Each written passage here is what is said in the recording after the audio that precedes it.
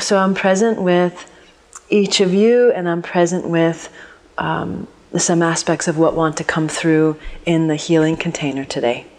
And I'll just remind you that this um, transmission and this classroom that we're in together has multiple levels. So there are multiple levels of transmission that are happening. And um,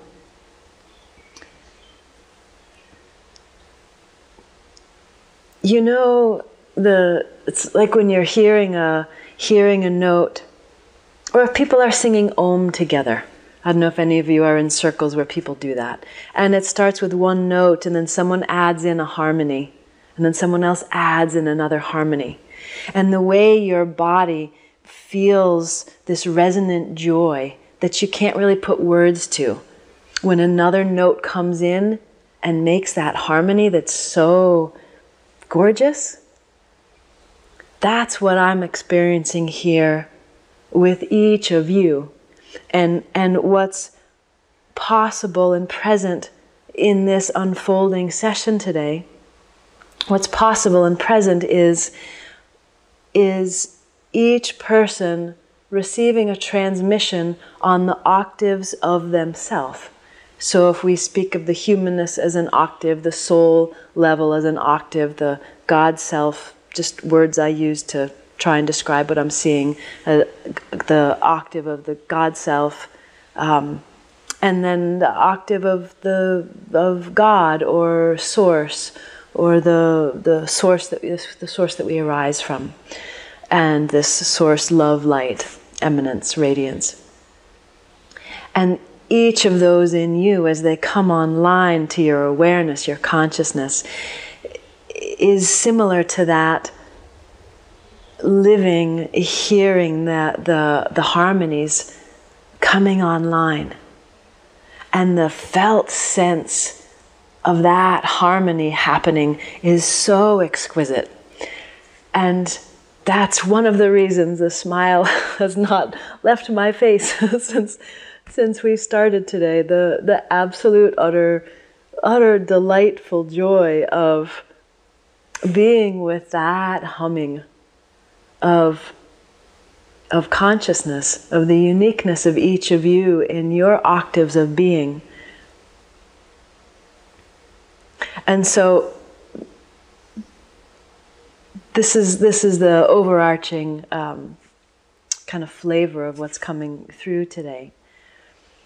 Uh, let me just be quiet for a moment. There's a lot that I want to share. Well, this isn't happening in an isolated way. It's, it's happening in the totality.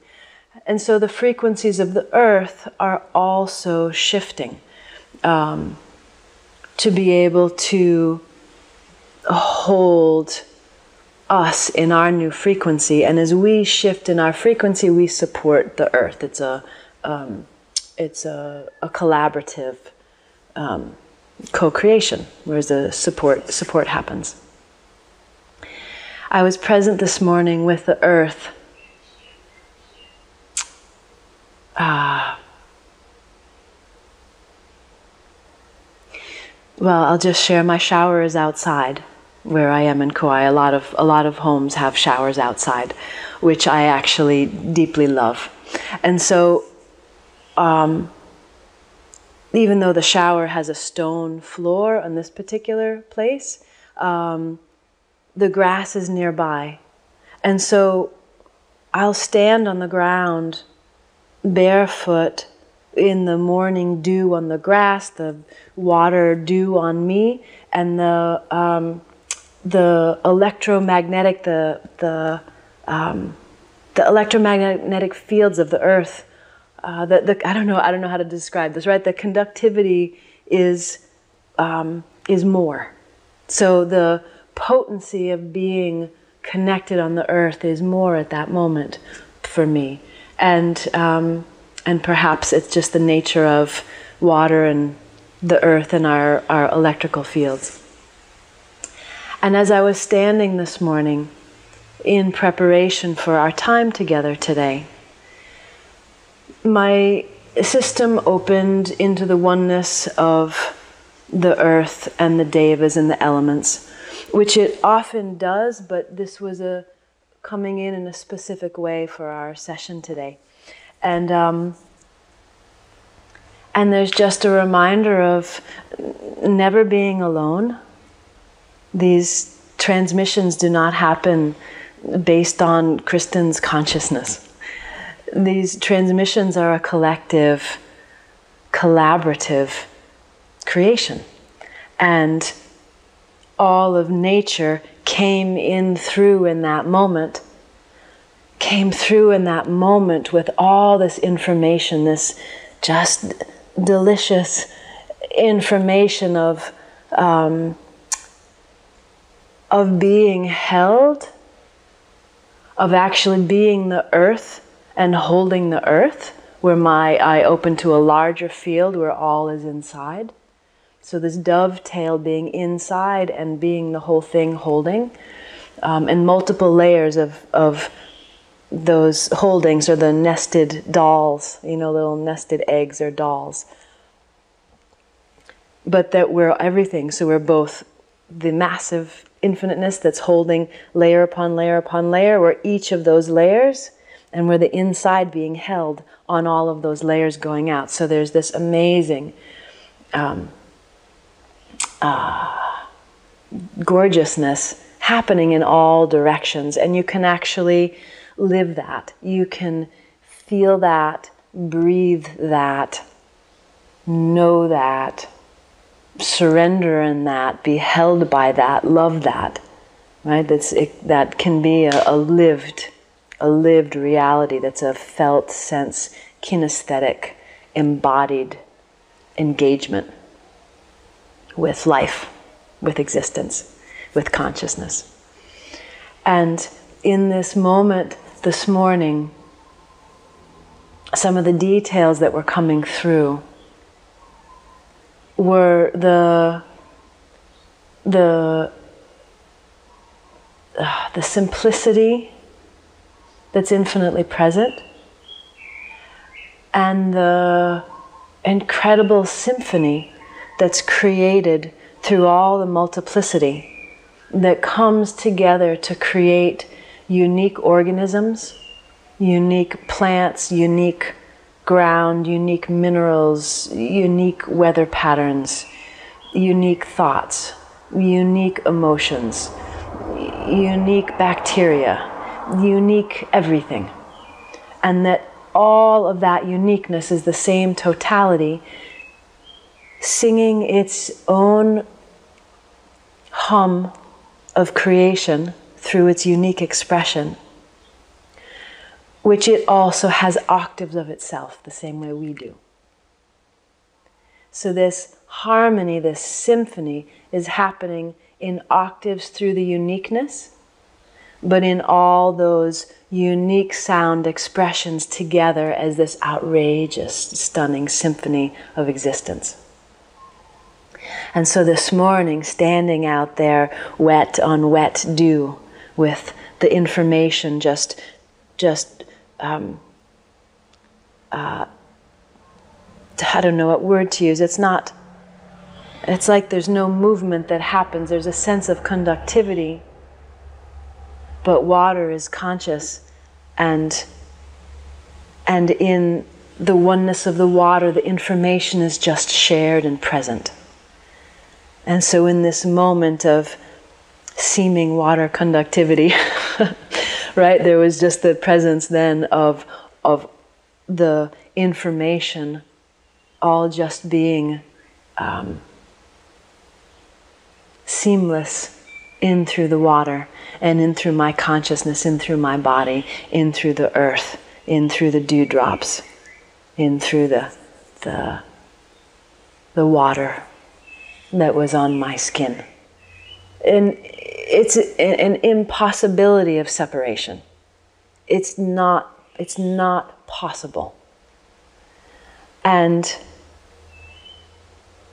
and I was with all the elements, and the elements are also conscious. And so all these indigenous cultures that speak of fire and air and water and earth being conscious and alive is not a childhood fantasy or an underdeveloped um,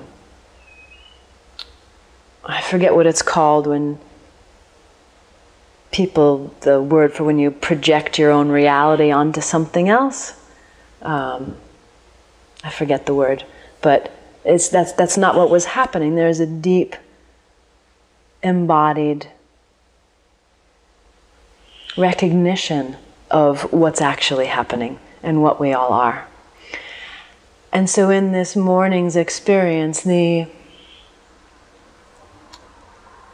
I was present with those elements in their organization as they create all of existence of this earth plane, of the rocks and the plants and breath and my body and the soil. I was, I was with those elements in their refined organization in the co creation of uniqueness. And I was with this also in detail and through the body and through the different octaves of that individuated trajectory of the octaves of the soul, light body, God self, and divine, uh, radiant eminence essence of source light that we are, the sort of the trajectory of our own inner harmony, of those octaves in harmony. So I was present with the, the elements as they come together in that co creation, in through those octaves of my being, and was aware that on the soul level, in the soul classroom today, that there was going to be a um, uh, a sharing, uh, a, a, classroom, right? A, a, teaching, an offering, an illuminating, an illumination of of what is already present. But that that was going to be one of the aspects of the um, of our session today, because my understanding of what these three sessions are about is to support the grounding of the higher illumination frequencies that are present and able to actually um, ground and be embodied. And what this means, again, in my understanding, is that those octaves of our being, on the fundamental levels, the elemental levels of air, fire, water, earth, there are different different systems have four and five different elements and it doesn't it doesn't matter so much. It's just that we're getting to that refined place of consciousness and and consciously engaging with the the elemental consciousness that is um, let me say this differently if something's not quite right in the way my words are um, forming. Um, in the soul classroom today, we're going to be engaging with elemental consciousness in the varied octaves that it is also co creating the universe. And then that we are co creating that universe with that, with those elements as well. And so, on the soul level, there are fine tune adjustments that are needed, that are wanting to happen, that are available, that are being invited, um, that are being offered, that are being engaged with to support the octaves of yourself of those those um, all those layers to come into such harmony and alignment it's like a focusing of the aperture of all of these bodies. Um, to be able to have that frequency of the radiance of the light make its way through all those physical aspects of you. Each of these octaves have uh, have a body, have an energetic body. So that's why I'm using the word physical. So it's a, an energetic physical body. I, it has a form. I can use it that way. So maybe physical isn't the right word. Uh, it feels that way to me, but but it's the it's its form. And then we'll also address the body. Uh, I don't know if this is all going to happen today or if this is going to build on itself over the three classes. It may be when I speak about the body, taking it in to, to be able to have the body. It, we may do elements of that today. It may be that that's the last of the three sessions. I'm not sure. We will, we'll, we'll get to find out together. So I'm just seeing. Um, in through the physical component, and that um, the the down stepping that happens of the light through it's actually more there are more layers. I usually address these layers more when I'm speaking about surrendering or through the mental body and the emotional body and the etheric body, the physical body, through um, memory, DNA, karma, and um, each of these bodies that I speak of, each of these octaves, have um, kind of a strata within each of them, the same way this physical body has all these chakras and different functions that correspond with each of those chakras. And, you know, I'll, I'll speak about the mental body, the emotional body, right, the etheric body. And so there's a there's multiple refinement that occurs in each of these octaves of being. And so in my silence, um, I was just sitting with uh, the felt sense of the just the reminder of when we're clearing through the body, it's not just the physical body. The physical body is dancing itself based on the conditioning behind it. So the physical form is manifesting in this way in part because of all that is behind it that is humming to then manifest both in the the uh, substance of the creation of your flesh to have the particular kind of body that you have, you know, with the DNA plus your own soul conditioning um, trajectory plan for this lifetime.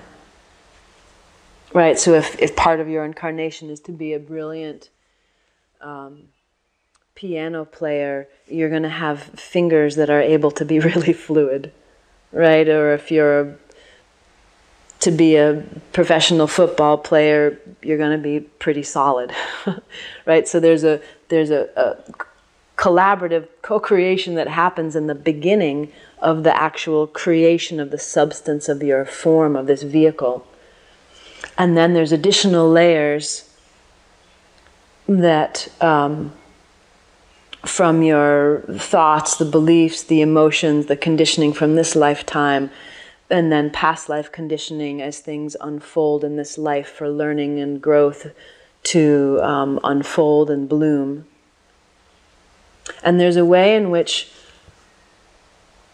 we've been taught in this life, this culture, that things are more solid than they actually are. And so we can relate to our body as something heavy and dense that has some physical problem or that's that's more solid than it and unchangeable than is actually the truth. The truth of the matter right? Speaking about matter. And um and so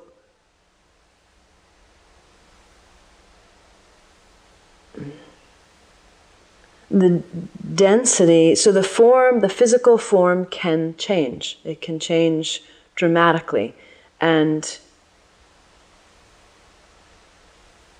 once we start relating to this, recognizing the changeability, all sorts of other possibilities open.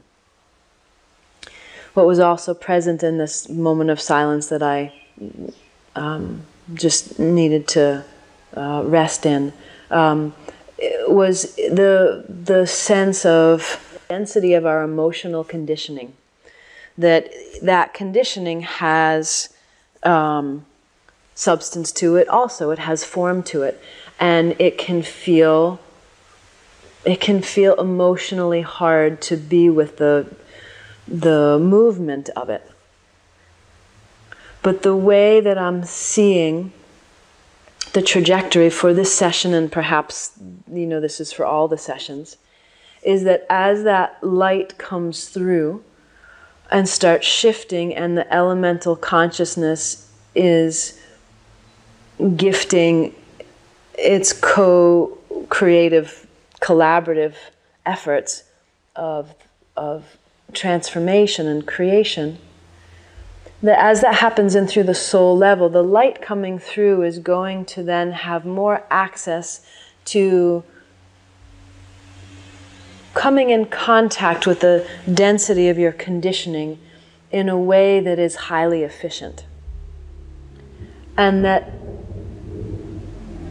we're more used to the weight and effort of navigating challenging emotions. We're more used to the challenge of that and the weight of that than we are the ease and grace of light coming through.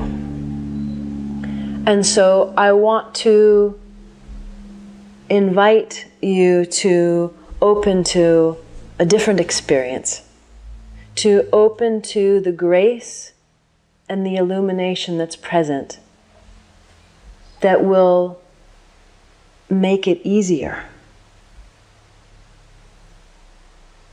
And what comes forward is water. If our pipes are clogged and we need to flush them out, you can bring in more water and it will flush the debris. And fire or illumination. Fire transforms light, when suddenly light hits a place that there's been shadow, consciousness is transformed. You can't see it the same way anymore. It has literally been transformed in through that light. So all of these elements have these octaves.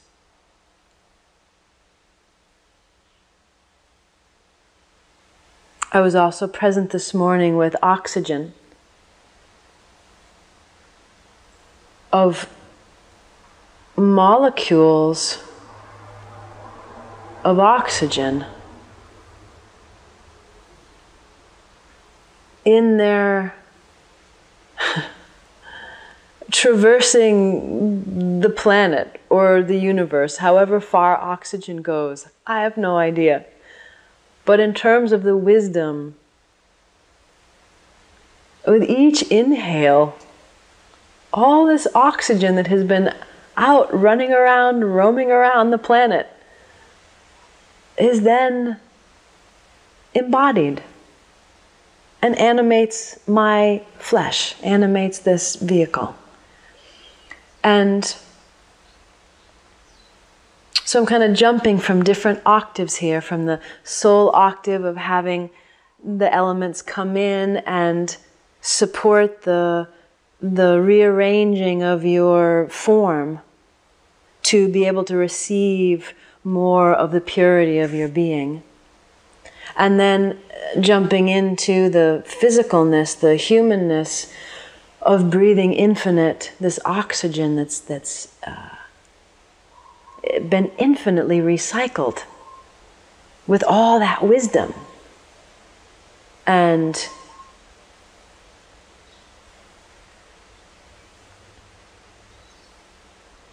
as we start to integrate and shift on these upper octaves, the physical body octave can then start to integrate and open more, and it starts to recognize what's really happening.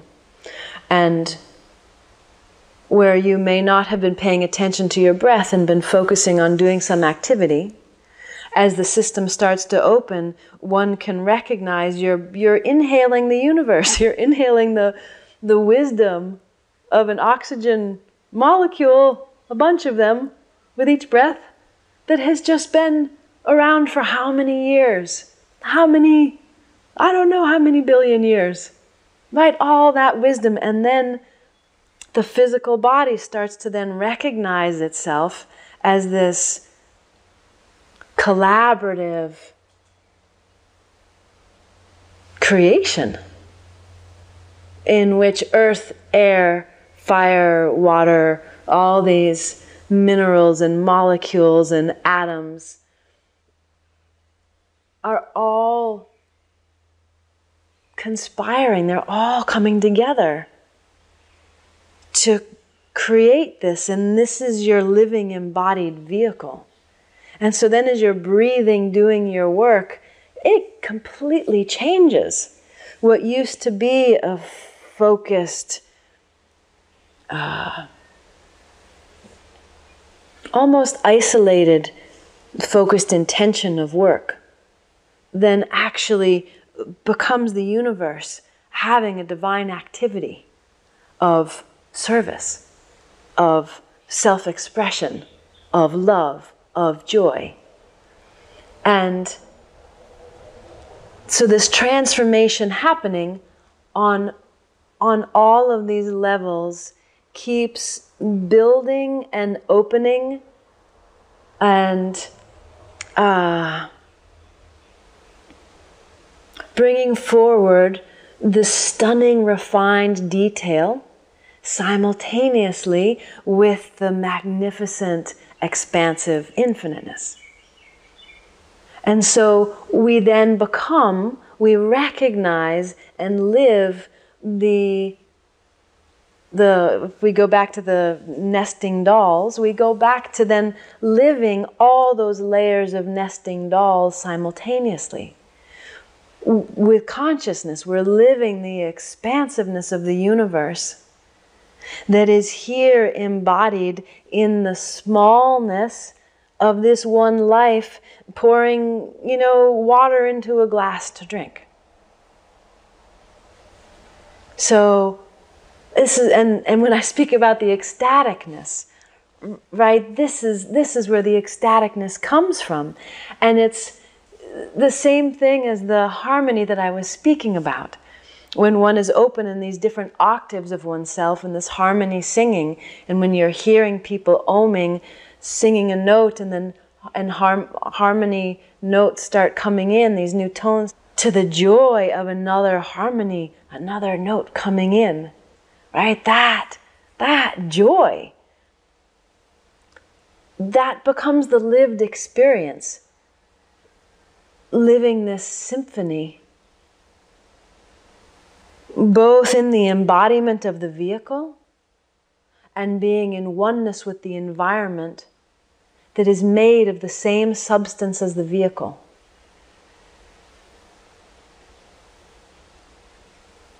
And this ecstaticness comes from living, experiencing that harmony on all those levels in through one's trajectory to source.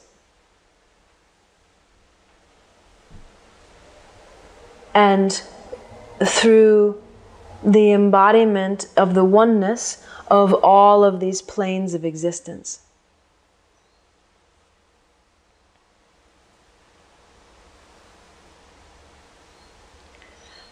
And part of the maturing that I experience and see in others, the maturing of awakening, is the continued refinement of the understanding, the recognition, or the seeming boundaries of the individuated aspect in the oneness of that whole plane. So that one can then stay steady in each of these octaves of being where you are humming, It's no different than when you're learning how to sing and you're asked to hold a note while someone else sings another note. It can be tricky. That's, that's what this whole thing is. It's that simple. Is that you are this divine gift of this note singing, this one unique note singing. But you're also the totality. So, how can you rest as your own unique note singing and stay steady with that while being in harmony with everything else? While you're one, while you are everything else. So, this awakening for me, the way I see it, is a refinement of that. And so we start to wake up on the personality level, and then we can go into oneness. And then there's a refinement of, well, okay, you can feel everyone else's emotions right now.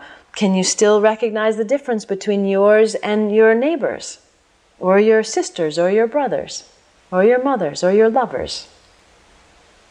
Right? So there's a refining of opening through the oneness, but then knowing yours. And then being in the harmony of that, the harmony of the co creating.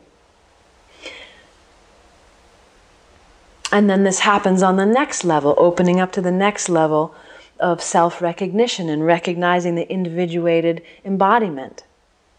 And opening through the oneness of the plane and then starting to discern. And so, this discerning, this refining of that boundary is the, the maturing.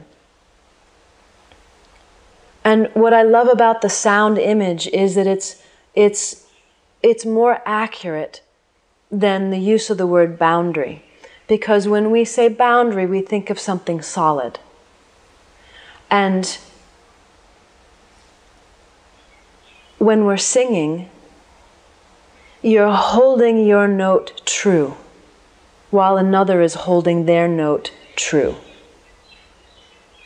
So that's, that's the boundary that I'm speaking about. So the word boundary is um, makes sense in this physical realm where things seem more solid. You know, where maybe you close the door, right? And you're making a physical boundary in that way. But in terms of consciousness and the maturing and the awakening, it's more like singing. And that as you stay steady in your true note, you can stay steady when someone else is off key. And you can stay steady when someone else is in harmony but singing a different note. So, right now on the planet, there is a lot of singing that is off key. And, and in the awakening, people are starting to recognize and open up to their own pure note and start seeing the purity of that and then singing themselves into their own harmony. So then you are then in the harmony of your own octaves. And as you continue to rest with this and continue to orient towards this and continue to meditate, to ground in this, then it's easier in your daily life when someone else is singing off key that you can stay in yours and just hear it as a dissonant harmony. It still is a harmony. It just has a little dissonance in it. Sometimes music does that, sound does that. And then as you deepen in this in yourself, then you can recognize when you have a note that has a little sense of disharmony. But you can then be with both in yourself at the same time. It's the same thing. You can rest in the true note of your divine sound, your divine singing and hear, oh, I hear this, these words or this emotion or this thought has a little bit of off note sounding to, tone to it. And without judging it, one can then continue to focus on the deeper true note sound in yourself. And the same way that I use the analogy of tuning forks, of, of me being a C note, singing this deep harmony of truth and a uniqueness, can help resonate the C note in you of that deep truth harmony note in you. right? The same way we the notes can attune in that way, and the, they can shift. So, um, just to clarify, if you have one note tuning fork in a room, if you have the, if they're the same note and you hit one, the other one will start vibrating without it actually physically being touched. Because the frequency is what that note resonates at at its frequency. So it it just naturally starts to resonate at that frequency. So that's the value of these sessions but the same principle is true in yourself.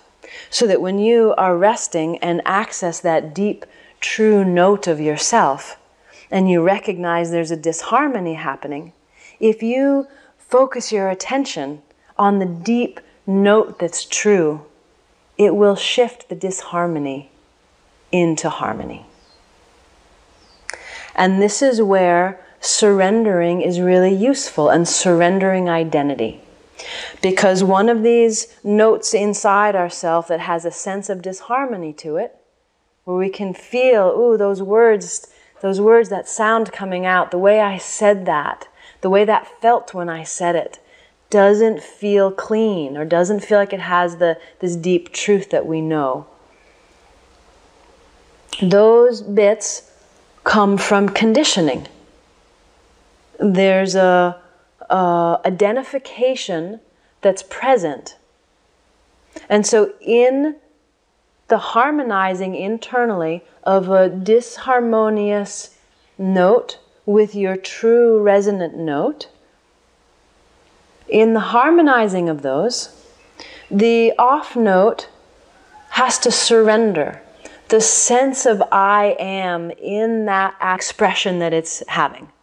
I'm angry. That person is bugging me. This is wrong. It should be different. Whatever the thought is, there's identity in that. And so, the practice that I have often spoken about for years um, about, I've used the analogy of a, a of um, a fist, a muscle, you know, clenching, that when you're about to hold something, you know, if you've held on to something, you can feel the muscle tightening, right? And that um, just briefly, the surrender practice that I had spoken about for years was uh, to recognize if you're about to clutch on to something, you're, you can feel something rising up in you, you're about to get angry and blame somebody, and sometimes you can catch it before you've done that right? So the, the, the off note is starting, right? And once um, being in the resonance of that, the identification of that, and you can soften and let go. And when we've already identified with something, the fist is whole, it's already being held. So the repeating pattern of this shouldn't be this way that's already being held. It shouldn't be this way. And then something happens. It shouldn't be this way. It shouldn't be this way. So the whole system's fixated. It's held. And so the, the value of the practice of surrendering is to let to let go. And we can do it in the moment before it happens. And then there are moments that are already held. And so we're meeting the same kinesthetic quality of relaxing and letting go to a moment that's already been fixed. So one can practice noticing where on that trajectory of, of identification um, the system is. Is it rising up in that moment to grasp it? It just happened so quickly you couldn't stop it, but you saw that it happened? Has it been happening a really long time? Right? There's this whole range, and meeting that surrender um, in through any of those moments of the identification supports the letting go of the substance of that creation, the the the energetic conditioning of anger or frustration or blame or discontentment. And so, as we, as in this conversation and the sharing, as, as I'm starting to speak to this conditioning more as a frequency than a, a held substance, both are true. Depends on which octave of being you're looking at. But since we're shifting to frequency and speaking from, from that resonance, the place where identity is then letting go as you rest in that note, that deep resonant note of that harmony in yourself, and notice the frequency, sound, the, re- the dissonance of the other one, of the, the expression that you're recognizing is not quite in that true expression. When we focus on this deeper place, you can still end up going through and experiencing the same sensation of, of letting go. It can also be experienced differently, where it's a, it's a more refined quality of letting go of that substance, letting go of the, the harmony, the disharmony. But the identification still lets go. It still needs to let go. And I'm wanting to just articulate this a little bit to help you navigate the sense the sensations and thoughts and emotions that may come up for you in this process through today and through the next next two classes. So the quality of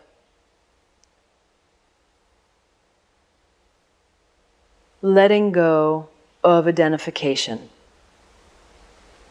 the felt sense of that. And I'm just going to be with this in this moment as I speak about it. A transmitting what I'm talking about in this moment.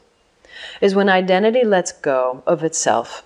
There's a sense of not existing or a, or a um, no longer being. It's a cessation of the experience of the sense of self through and from the reality that was just being created in the previous moment. So, right now, in this moment, I'm sitting with this transmission, uh, amplification of the sense of self letting go of itself where it does not have a name, it does not have a known identity. It does not have a known location. It lets go of its location in the universe.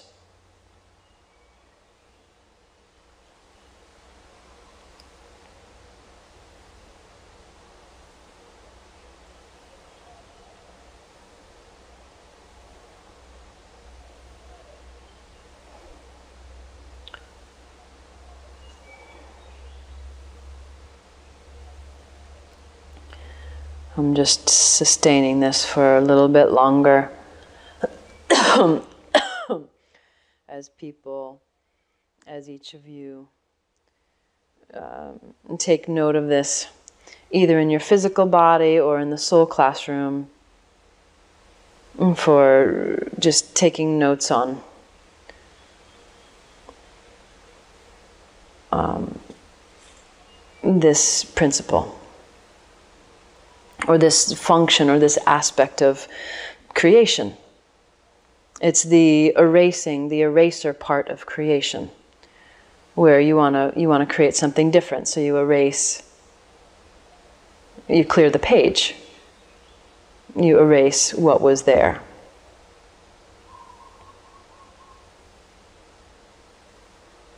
And this can be erased in this way, it can be erased through transformation, where the focus is more on what's becoming, what's in the next moment, what the transformation uh, transforms into. But there's a key component here in awakening of the non existent, the cessation, the stopping, the, the erasing component. It's profoundly useful to become comfortable with letting go so deep.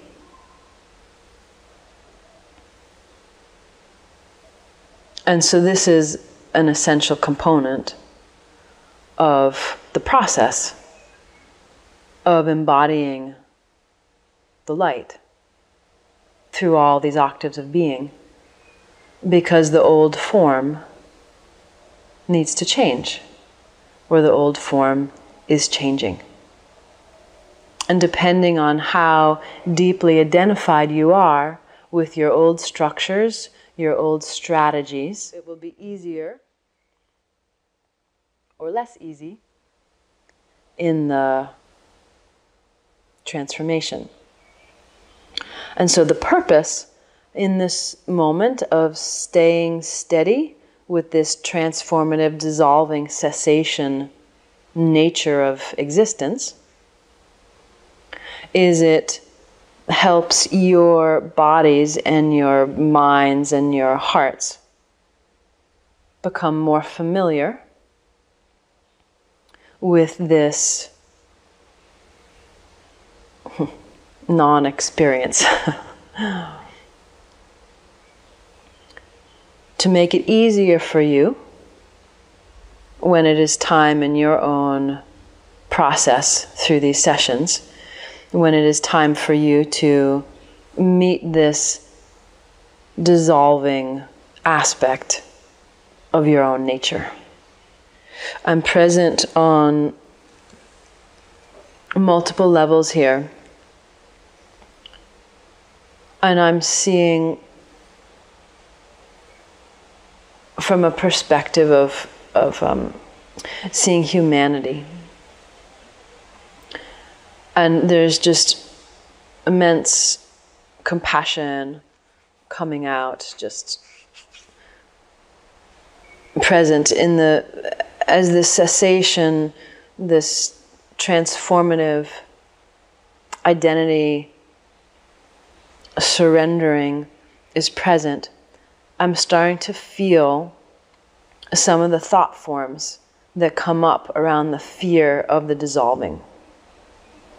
The one that is showing up the most right now is a sense of um, perhaps guilt or self judgment